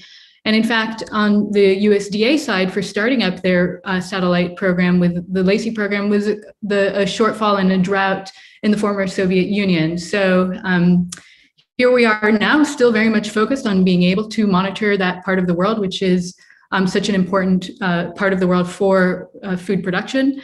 Um, I think we've heard uh, quite a lot already where we are facing a food crisis and it's not so much a question of if, but rather how severe and what the implications of the, the, the invasion and, and, the, and what's following that uh, will have on, on, um, on, on food. Um, I think, uh, and as we've already heard, we have very much a global and interconnected food system. So um, it's not enough for us to be monitoring what's happening in Ukraine or what's happening in Russia or, or what's happening in the US, but really whatever happens, in, in particular in some of these major production export countries has massive implications uh, globally, both for the, the more food insecure, the importing countries, as well as for, for exports. And so it's really important for us to have the capability to monitor at a global scale and in a timely manner um, the agricultural lands and, and croplands and, and to be able to forecast crop uh, prospects. And so therefore satellite data um, can play and are playing a major role in, in providing this kind of information and particularly so in parts of the world where we cannot get ground information. Um, and so I think on from our side, from the satellite uh, community perspective, I would say we've we've seen a, a, huge uptick in terms of requests that we're getting for utilization of, of satellite data in support of various um, questions, whether that's around extreme weather events that are occurring and what kind of impact those are going to have. We had a lot of requests in the context of COVID um, in the context of, of various conflicts and, and whether that's impacting, for example, planted areas. And of course, now very much so in the context of the invasion in, in, in Ukraine. And so we are actually thinking about and, and, and moving forward to launching a coordinated initiative in, in response to being able to be even more responsive to, to these kinds of demands. Uh, but we are doing, of course, a lot of operational monitoring at the global scale. And, and so that's really what I want to talk about uh, today. Uh, next. Um, and so some of the areas that we're very much focused on at the moment is, of course, to be able to monitor crop conditions as well as yield forecasts in Ukraine and in Russia, um, both for the ongoing wheat season, um, as well as it'll be really critical to be able to monitor planted area for the spring crop. So um, spring planting is just around the corner, starts in, in, in April. And so being able to look at, you know, how much of the corn is going to be able to be planted, can we look at signals of uh, field preparation and then of course of, of emergence of crops and that's going to be um, very important for us to, to be able to, to monitor and in particular in, in Ukraine. Um, as we've heard already um, from, from the various speakers, um, in terms of the gap that might be in, in, in uh, being able to fill from the exports that come out of Russia and Ukraine, um, if the grain cannot come out of uh, Ukraine and, uh, and, and of course from, from Russia as well. And so are there who can fill that gap? What, what being able to monitor those major um, producing areas of, of the world and being able to track for example the us for example uh, south america europe et cetera will be really critical. Um, we're also focusing on monitoring crop conditions and, and developments in importing countries and in those countries that depend on exports coming out of the black sea region. Um, and I'll talk a little bit more about, I'll give examples of what's going on at the moment. And then of course, also being able to monitor major consuming countries. And I think we, um, there was a news article that I saw a couple of days ago from China saying that they might be having their worst winter wheat um, season. So of course that becomes very important as well. Um, and then remembering uh, that any disruption that we have due to weather, and we have been seeing more increased severe weather that has can have major implications for crop production, um, I'll talk a little bit more about that, but we are now in a second consecutive La Nina, and that has and can have some implications for, for major producing parts of, of the world. And then, as we heard, of course, is what the impact is going to be um, of higher fertilizer costs on yields and, and productivity. Next. And so I'll go through where we are in terms of current crop conditions, and, and these are produced as part of the Crop Monitor. That's an initiative under GeoGLAM um, with inputs from over 40 different organizations that contribute into this. These are operational assessments that um, have been going on since 2013 um, and focused on some of the main commodity crops. Uh, next. And so these are just to give a, a, sense these are the, the parts of the world that we are covering. We have different initiatives. One focused more on the big production export countries under the uh, AMIS framework. Um, and another crop monitor both of these are published every month um, focus more on the, the food insecure countries called the crop monitor for early warning. Next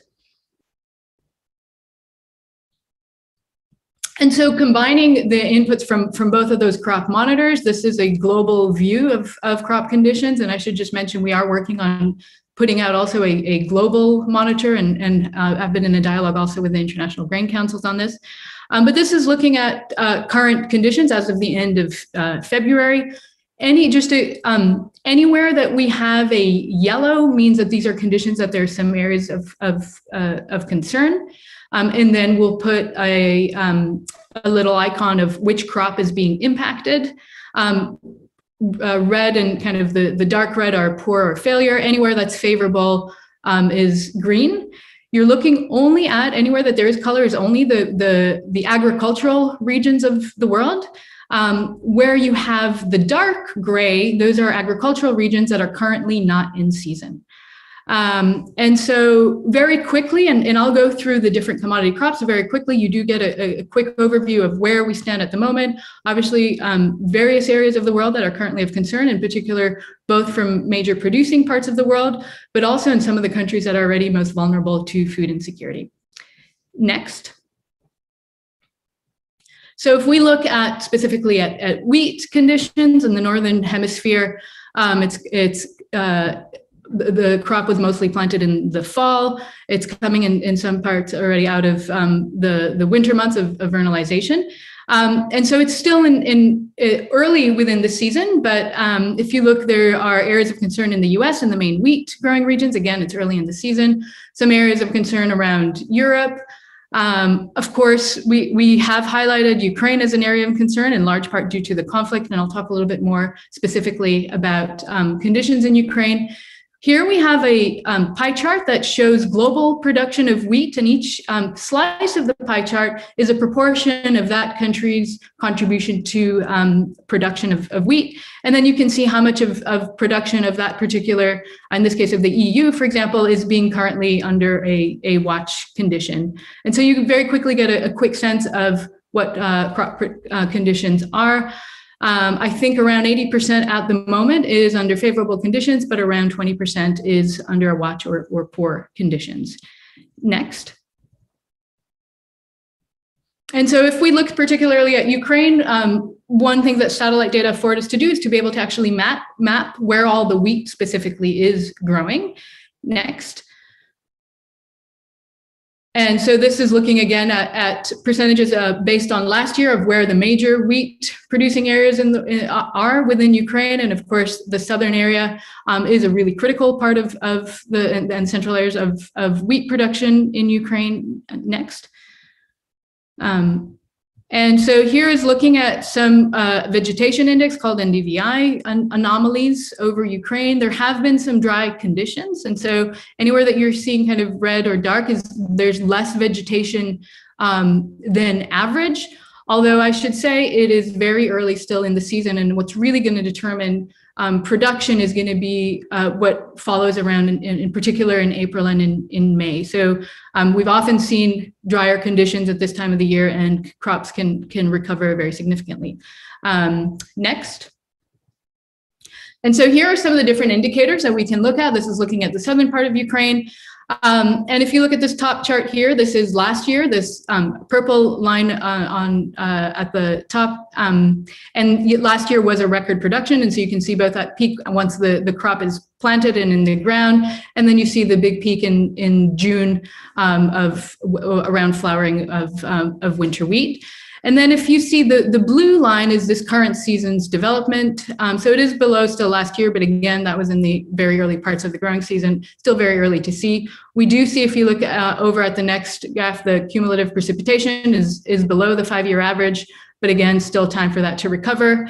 Um, if you look at the bottom middle, the temperature graph, um, this winter was warmer than average, although now cooler temperatures are coming in. Um, next.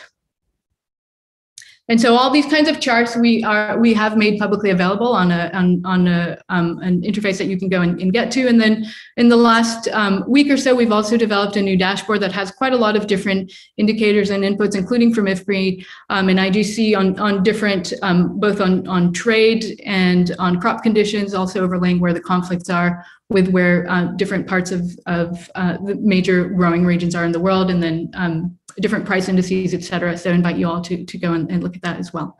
Next. Um, looking at other major growing regions uh, for wheat in particular, again, recalling that Ukraine and Russia combined account for 30% or so of global exports. Um, there are concerns over the U.S., in particular over the the um, major wheat growing part of uh, within the U.S. But again, early in the season, but you can see that impact of the drought. Um, the red dot but on the middle panel of cumulative precipitation also integrates the forecast, so we can still see that there's not much rain forecast in the next two weeks in that part. Similarly, in France, um, some concern over dry conditions. Next. And then again, coming back to this question on uh, China and this, uh, um, uh, I guess this article that came out anyways about um, information from the ministry saying that this could be one of the worst uh, uh, seasons in, in, history. I think if we look at the data, we can see that there was less establishment and um, of the when in in the fall when it was planted, but of course still a lot of time for that crop to um, have a good outcome. And and the again the the coming months will be really critical for wheat production in China next. Um, if we look at some of the major importing regions, as um, as uh, Joe was pointing out, um, we're looking at Northern Africa. We're already seeing droughts and um, poor conditions in uh, in in Morocco, and then in, in watch in, in, in Tunisia. And if we look at the the three month forecast, that's still forecast out to to have dry conditions. So again, quite concerned there, in particular in regions that are importing, um, also across in, in the Middle East, so in North Africa and the Middle East. Um, next, and again, showing those same charts, and you can just see how much below average the, the current season is. Um, switching over into maize conditions, uh, concern over, as, as Seth had, had pointed out, um, conditions in, in South, in South America, and in particular in, in Brazil and in uh, Argentina. Um, and again, uh, you can see that pie chart there and showing what percentage of the production of both of those countries is either under poor or under watch conditions, and that's largely due to, to dryness. Um, but we're also having dry conditions in, in Eastern Africa. Um, the short rainy season has just ended, and particular in Kenya, has ended with poor conditions. And they're looking now at uh, prospects of a fourth consecutive dry season, in large part um, uh, coming up for the March, April, May season that will um, will just be starting. Um, and then also some concerns due to, to dryness in, in Southern Africa. Um, next. And so here's again looking at some of these charts, in particular of southern Brazil that we heard about earlier. And, and again, this is looking at these NDVI anomalies in southern Brazil and in, in, in northern Argentina. And again, looking at tracking that season through different indicators, whether that's vegetation indices, precipitation, um, temperature, and being able to compare this current season to uh, previous seasons. And I should say that while I'm showing here very much um, uh, um, crop conditions, we do take all these data and provide and, and compute quantitative actual forecasts of crop yields as well. Um, next. And so finally, soybeans, and, and here the main story is, is again South America and, and prolonged uh, drought impacting in particular both southern Brazil and Argentina. And again, here in the pie charts, you can see what proportion of, of global production is currently under a watch or, or poor conditions. So all of these will be, of course, very important to continue to track as the seasons um, progress. And then as we get into the Northern Hemisphere, some spring and summer growing seasons. Next. And so if we look at, um, we're currently in a second La Nina um, phase. And so here, what I'm showing, and, and this is coming out of the um, UCSB Climate Hazard Center, is looking at areas that are that under La Nina typically will be drier than, than usual uh, versus areas that are wetter than usual. And as you can see, a lot of those areas that are drier than usual also correspond with major production um, and exporting regions of the world. So we will be watching this season um, and upcoming season very, very carefully, um, especially given what we've already heard about the, the prices and, and tighter markets. And next, I think this is my last slide.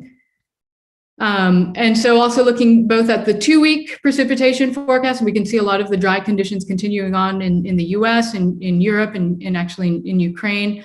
Um, and then looking at the three month seasonal precipitation outlook um, in large parts of the world, also very much driven by this um, current La Nina. And with that, with that, I'll, I'll stop and just say it, um, it satellite data really are a, an, an incredibly important tool to be able to provide us this information at a global scale across all the agricultural um, parts of, of the world and uh, enable us to be able to track, especially also where we don't have information on the ground. Thank you very much. Great, thank you so much, Inbal. And I know um, GeoGlam plays such an important role in the AMIS process too. So um, all these investments in transparency and monitoring really, I think, can make a difference in terms of making sure people have the information they need when they need it.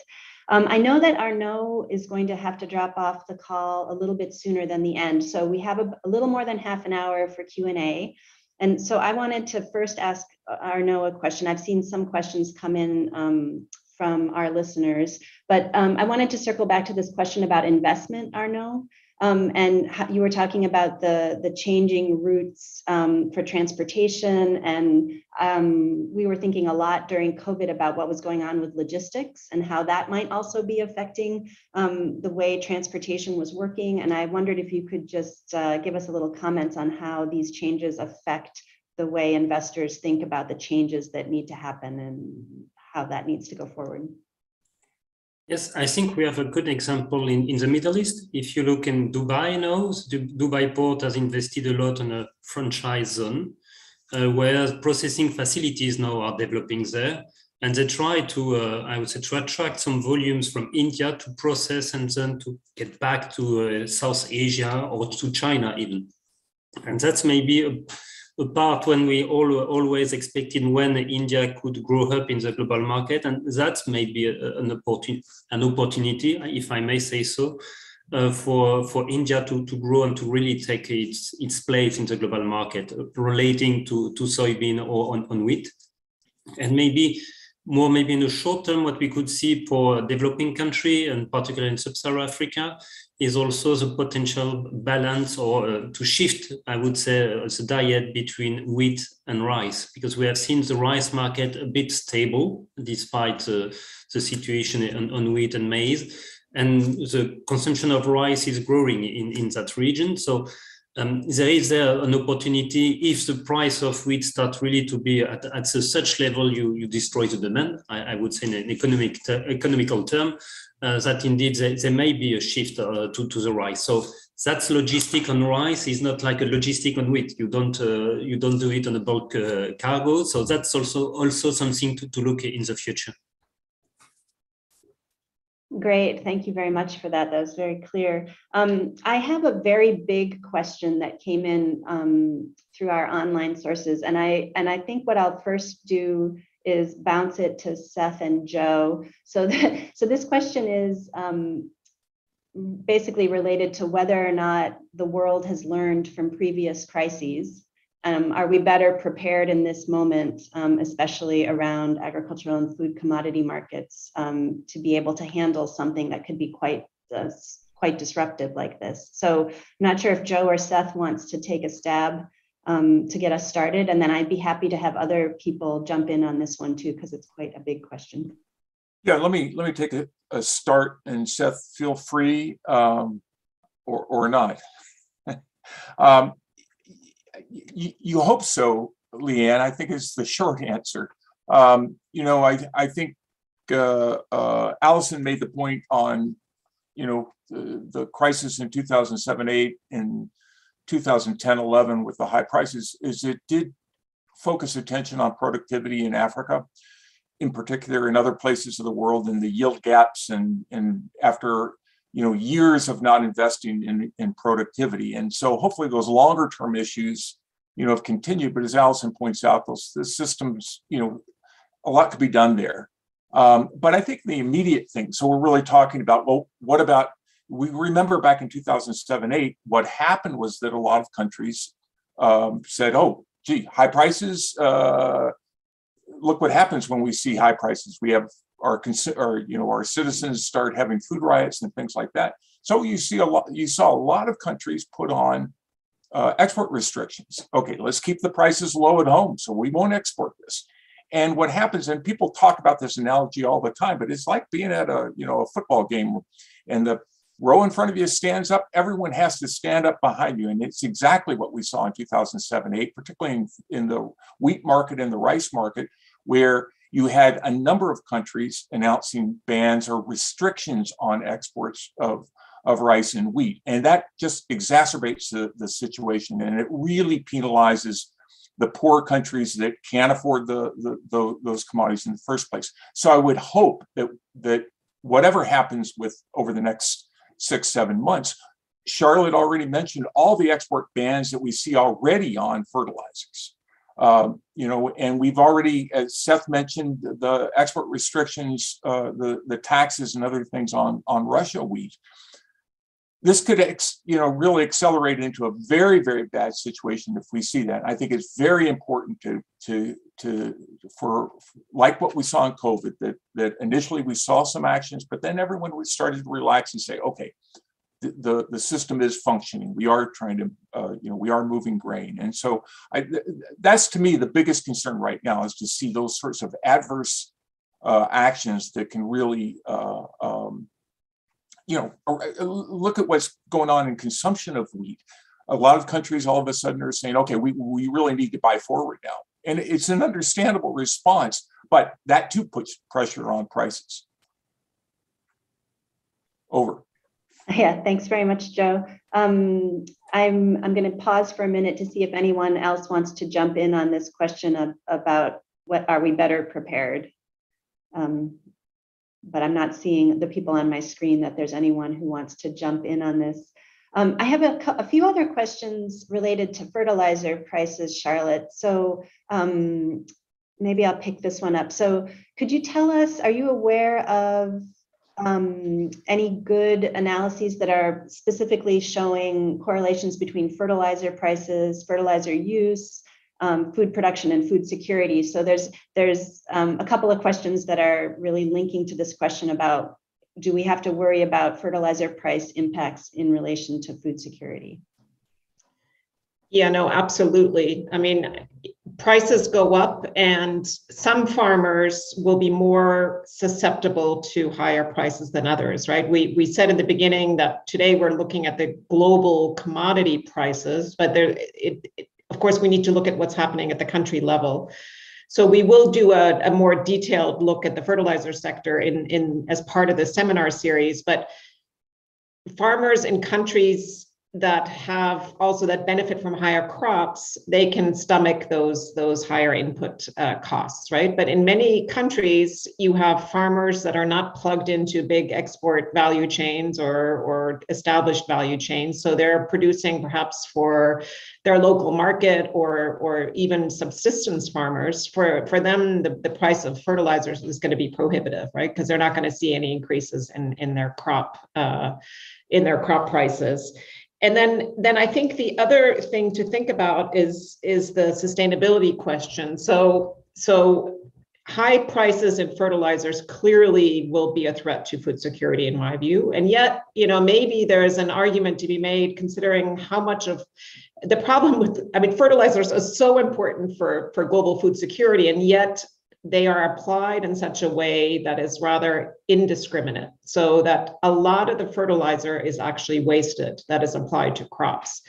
And that's because it's not being applied in a very crop or site specific way. Uh, of course, improvements are being made uh, on this and, and fertilizer use efficiency is increasing.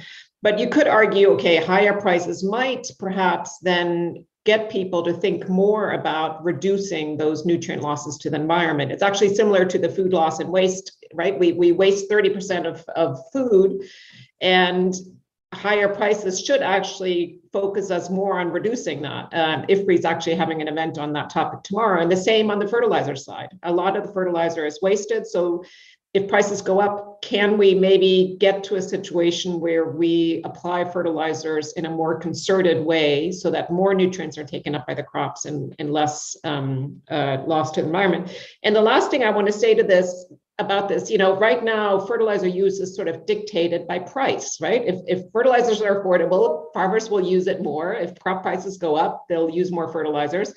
But in an ideal world, we wouldn't look at fertilizer application in that way. We would we would apply fertilizers according to the agronomic needs of the plant and and to the nutrient levels within the soils. That's really ideally where we would be, but unfortunately that hasn't really been the case. Uh, uh, so perhaps things could change there. Thank you so much. Um, If Arnaud, I are you? may- Yes, Sorry, please. Can can I say something? Yeah, thank you. Uh, Just on the previous question of whether we are well prepared now to address the ongoing crisis, uh, the issue with crises is that unfortunately they are very different. Crises never repeat themselves in the same form and uh, shape. And uh, while in the food crisis of uh, 2008, 9, and 11, uh, from what we uh, the previous speaker said, it was driven by a number of factors. That was one of them was biofuels. I would say uh, other factors had to do with policy restrictions, etc. And we have learned from that. And that's fine. The problem with today's crisis, if you look at the energy market, for example, and I think that's a good example, is that the world has learned, in a sense, how to deal with an oil crisis. The problem, to, and in fact, the world is doing quite well. You see that oil prices did increase, but not as much as they increased back in 2007, 2008, for a number of reasons, including investment in shale oil, diversification away from oil, and a number of other factors. The problem now is that we have an energy crisis that's completely different than what we had before. Now it's a crisis about coal, and a crisis related to natural gas. The problem is that with natural gas, it was supposed to be the transition fuel that would get us from our, so to speak, addiction, uh, if I may use that term, on fossil, on fossil fuels to a, to, to a place where we are uh, less dependent on fossil fuels and we use more um, renewable energy sources. And this is the key difference here is that yes, we have an energy crisis that's completely different than what we experienced in 2008. But even if we go back to th- uh, 1979, which at least in my opinion is the one that resembles very well or is connected very well to the current, circumstances, even that you see back then was an oil crisis and today's uh, coal and the natural gas prices. So the short answer to the question is no matter how much we learn, the next crisis is going to be completely different.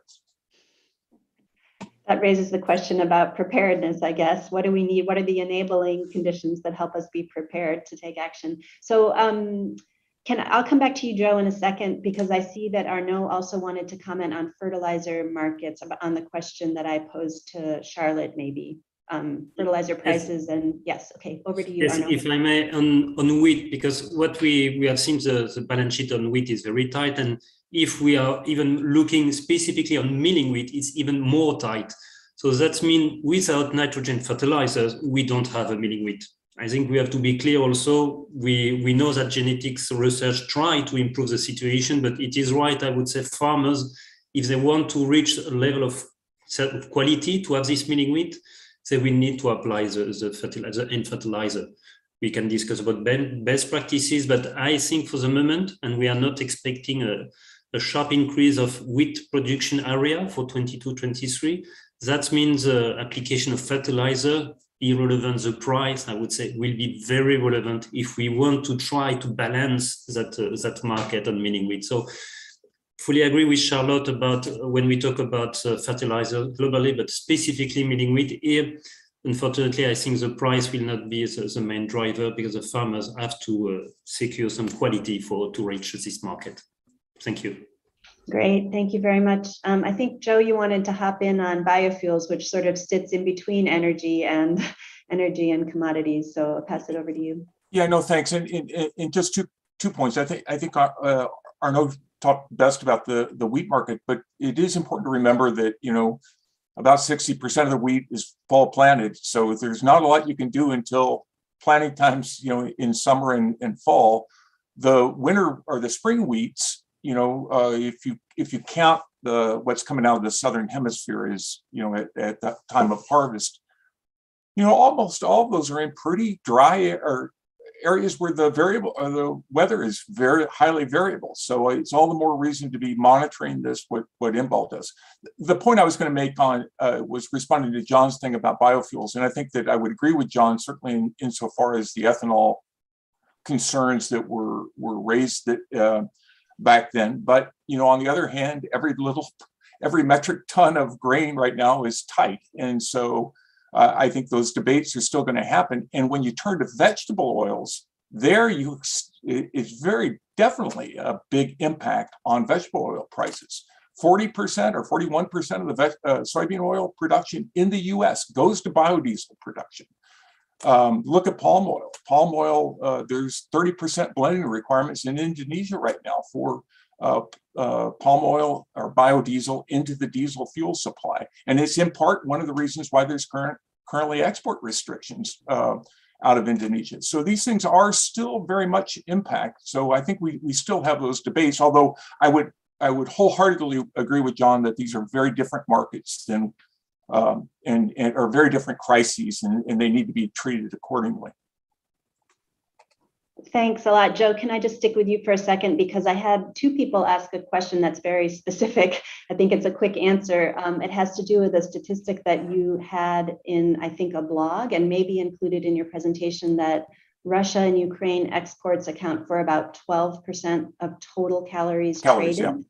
Um, could you tell us where that number comes from? Sure, uh, and and uh, unfortunately, my colleague David Laborde, who's been doing a lot of work uh, uh, with me over the last uh, uh, several weeks on on this, he's the source of that data. And what David does is he uses nutritional coefficients from USDA, from FAO, and converts uh, agricultural exports into calories. And so there are just these are coefficients that are applied, and it's it's one way to give a, a to be able to kind of sum up and summarize a lot of the exports in terms of calorie content. We also do it for fat content and protein content and other sorts of things. But the uh, uh, again, it's you you can imagine the bulk of those calories are going to be in things like grains and and and staple products. But but we do calculate it across the broad range of of uh, uh, agricultural products that are exported. Thanks. Great, thank you very much. Um, I have a question. Um, I want to come back on this issue of transparency, um, Inbal, to you, because of course, when I look at the information that um, GEOGLAM is pulling together and the great kind of images and um, all the synthesis and analysis that goes into that, I can see the investments. and I'm wondering if you, from where you sit, you see gaps in terms of where new investments could actually have a big improvement in terms of how we how we're doing our monitoring? Are there are there directions um, where investment in that kind of transparency would help? Yeah, sure. Great. Thanks. And I think, um, you know, one of the, the main areas where satellite data can really help us is when once the crop is in the ground and before it's harvested, right? So when you have that information gap um, and satellites can are monitoring on a daily basis, we can see almost every field really across the world.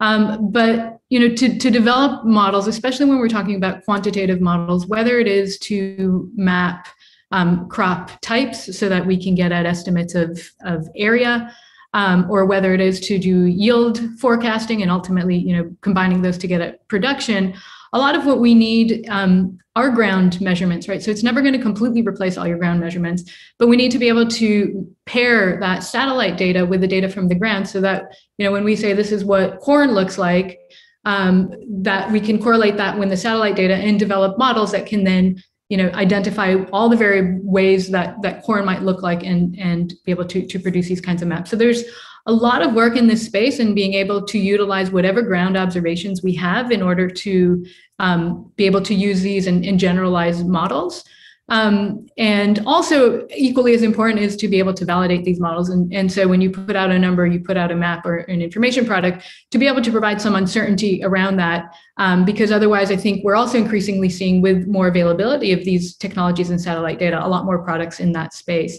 Um, but I think a lot of you know what we really need to be moving more and more on and, and, we're seeing this is moving from this research side into operations. And so i think we're continuously to advance and develop the capabilities on the research side. And it's really important at the same time to be able to move those in the direction that's actually needed. And i think a lot of this work with GEOGLAM and with AMIS has actually really helped to do this and make sure that ministries of agriculture are utilizing these technologies and utilizing them to the best way that, that they can. And so that um, and you're making these as accessible as possible so that not you know each each crop analyst now has to become a remote sensing specialist but really be able to to look at uh, as um, how can we transition these kinds of capabilities? And then even more so into countries that that um, i think you know ground surveys are very expensive. And so um, being able to to look at how do you best target your ground surveys right? So satellite data can help you make those a lot more efficient and then in countries that have a need for better monitoring, um, being able to transition these kinds of technologies into operational um, spaces within ministries of agriculture so that we're getting these kinds of information also from, from countries. So I think there's um, there's been tremendous progress in terms of our capabilities. And I think we're seeing that. And I think the fact that we're getting so many requests also means that there's so much more awareness to the capabilities that satellite data can provide. Um, but there's certainly a lot of technology and capabilities have already been developed that can really be transitioned now and, and taken up um, in more operational senses. Yeah, I really like your response to that because a lot of times there's just so much data, it's almost impossible to use it. so having the value added of having having it put together in a way, like you said, where there can be an operational decision, I think there's a really high value added to that. Um, we have about 15 minutes left, and I want to make sure everyone gets a chance to answer a question. So I'd like to come back um, to Allison. Is she still on the call? Yes, Okay. I'm here, Leon. Great. Um, the, in your in your presentation, this is a little bit of a sideways um, question from where we just were, but you had a, a reference to the question of the fragmentation of the landscape, and I thought of it as the fragmentation in the innovation landscape in a sense that there's lots of different actors um, and and in order to actually get change moving in a direction where you want it to go, for example, in your space, which is around um, crop um, crop modification and new creating new crops, how do you address that kind of fragmentation? Like, what are the practical practical solutions to trying to move people in a coherent direction? Yeah, thanks, thanks, and, and it's a great question, and obviously a big question for the, the sector as a whole. And I think Yo mentioned that in his introduction, the, the need for collaboration uh, across this space. I, I, think if we look at what we've learned, we can we can also kind of see the context for, for the current fragmentation of the landscape.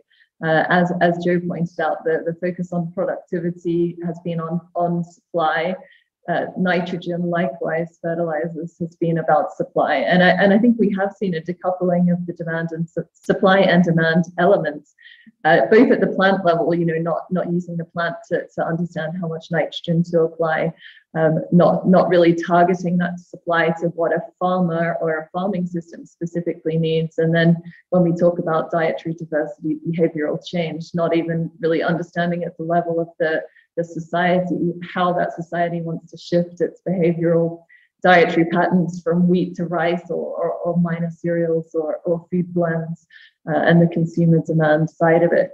Um, so I think when we focus on supply, it's very easy to have this fragmentation of the landscape to just say we need productivity, that's plant breeding, we need plant health, that's that's agrochemicals, we need fertilizer, we need we need to stabilize price, that's fertilizer, you know, at a specific price point. Uh, but I think we we are starting to see the the power of looking at, at through a more demand-driven lens, and then and, and then that naturally brings a, a, greater coherence because if you're saying we need to know what a farmer wants in order to provide a, a better variety through a, a, higher functioning seed system, you know, as a plant breeder, I can't go to a farmer and, and fully appreciate the, the demand side of it. Um, and so then um, we, we have a challenge where we, we really have to have that challenge as a, as a cross-disciplinary uh, purpose, both in terms of the economics, the, the social, behavioral side of it. Uh, so I think it's really about flipping that, that thinking from, from the supply side to, to the demand drivers, uh, particularly in the space that, that I work in more on the biophysical side. What, what, do, what do societies, individuals, farmers, uh, the, the, agricultural system want, uh, and then how do we, we build those solutions? Uh, and that will, will of course come with solutions that are, that are cross-disciplinary. Thank you. Yeah, thank you very much. This is something we've also been thinking a lot about at the OECD, which is sort of um, the private sector innovation in terms of thinking about what consumers want and all these new technologies that are being generated in the private sector in terms of um, linking products to, to how they are produced, for example, so that consumers can make some choices around what how they want to how they want to spend their money vis-a-vis environmental goals, for example. Now, there's a question here, and I'm not sure anyone will be able to answer it, but I'll pose it anyway, which is, um, has anyone on this panel had um, have been working on modeling what the impacts of the sanctions might be or are likely to be on global and food, global food and agriculture? Um, I'm not sure, I'm sure that there are people working on this, but I'm not sure that people on this call are working on that kind of thing. Joe, do you want to say something? Yeah, no, I, I, uh, colleagues, uh, David Laborde had, has done some work on this with, with Antoine Bouet, and uh, they looked at the 2007-2008 crisis, uh, if I remember correctly. Will Martin, uh, who's also an IFPRI colleague who, who had been at the World Bank, who did a paper with Kim Anderson on this uh, a, a few years ago. And they found that a lot of uh, their findings, if I remember correctly, and I, I can't give you the exact numbers, but uh, a, a, large percent of the increase that we saw in those spikes in 2007, 8, if I if I remember their research correctly, was you know 30 to 40 percent of that uh, was uh, due to those restrictions. So again, you can make a bad situation very, very uh, very much worse by by putting on restrictions. Uh, but but certainly, if someone wants to contact me, I can uh, uh, dig up those studies, or or you can better yet put you in contact with the authors. Great. Um, I have a question. So there's lots of questions. I won't be able to get through them all. I apologize to people who are on the call, but there's one on trade, and I'd like to pose it as it's written and get some reaction. Um, the question is, Have countries gotten addicted to trade? And if so, is this a call for more self-sufficiency? And I'm thinking there's probably several people who could comment. Charlotte, over to you.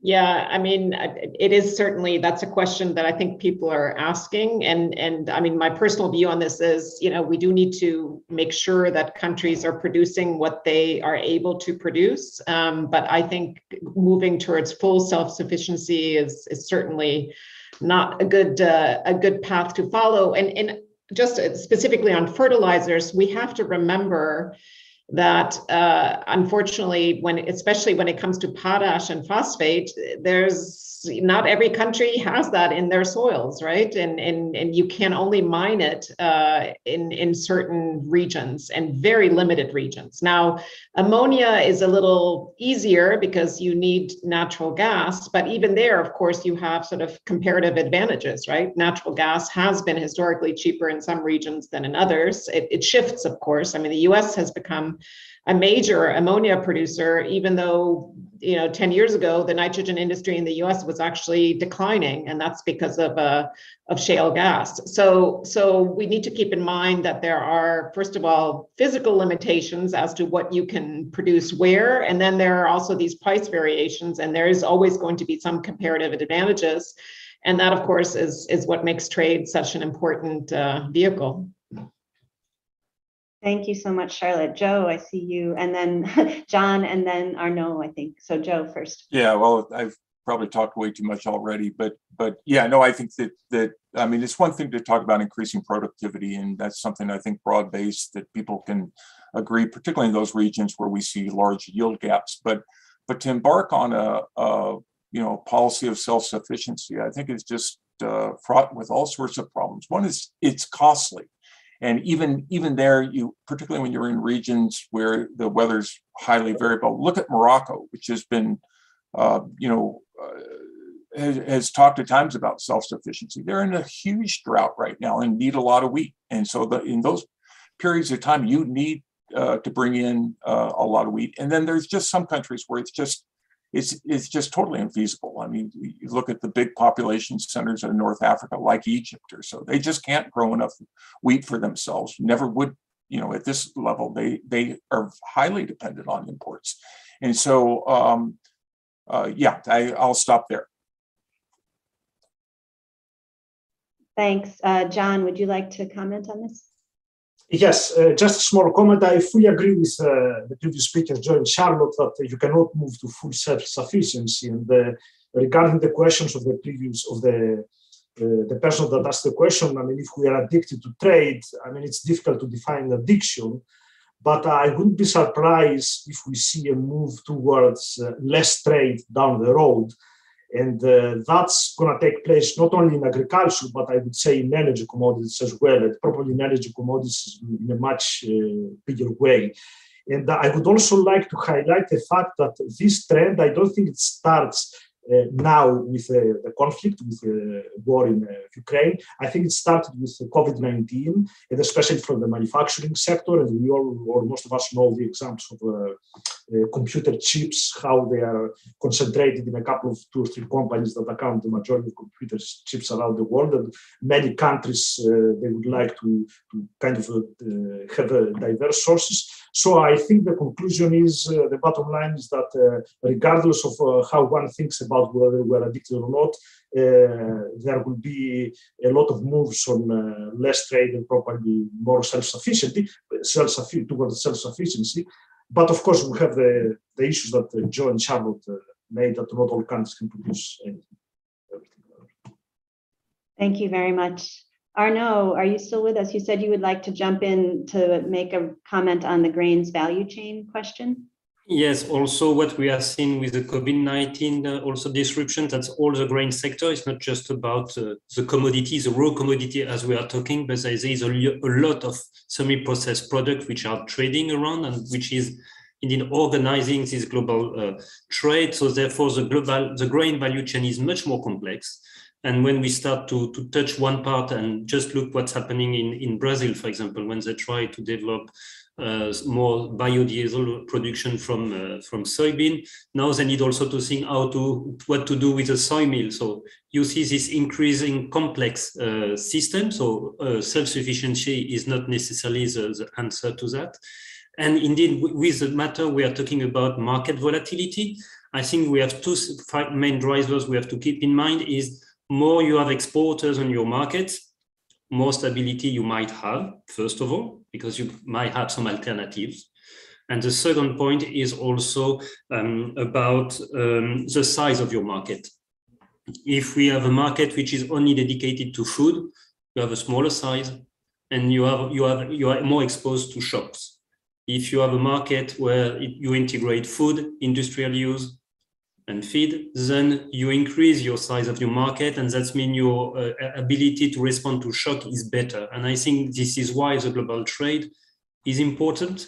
Is indeed not just to limit, I would say, your size on your industry or your food uh, purposes, because when we talk about uh, self-sufficiency is for food. So you limit your size, and when, as Joe said, you have a uh, climate event, your market take a big hit. So that's very important to, to, to take into consideration this global trade. It's not just about food, but it's more complex uh, product and which try to, uh, to compensate this different variation in, in yields uh, uh, times to times. Thank you. Thank you so much. And I think we're, we're to the point where we should be wrapping up. It's been a really interesting uh, two-hour discussion. I would really like to thank all the panelists who were with us with all the detailed information um, in this moment when um, when the world seems to be changing really rapidly in uncertain ways. It's it's really a luxury to be able to spend two hours with people like this who can share um, deep information about uh, about what's going on. And we talked about the importance of transparency. So I hope um, the people who joined the call feel like they have more information themselves to think about what's going on in the world. Um, and I personally appreciated wrapping up on this trade question because I think this is um, really key, partly because um, as we, when we started out in the Q&A, we had some comments about the importance of making sure that we try to avoid disruptions to markets um, beyond what's already there. So uh, um, anyway, I'll just say thank you again to everyone who, who spoke. Thank you for those presentations. And as a wrap up, um, I would just like to tell the people who joined us for this event that at IFPRI um, tomorrow, there's another event on March 10th at 9.30 um, Eastern Standard Time on SDG 12.3, which is related to food loss and food waste. Um, and the title is Food Loss and Food Waste, a Once in Generation Opportunity. And this is co-organized by IFPRI and the Embassy of Denmark. So um, I hope everyone can join IFPRI there for that event. Um, and with that, uh, I wrap up, um, wishing everybody a good uh, rest of the day. Thank you all for joining us.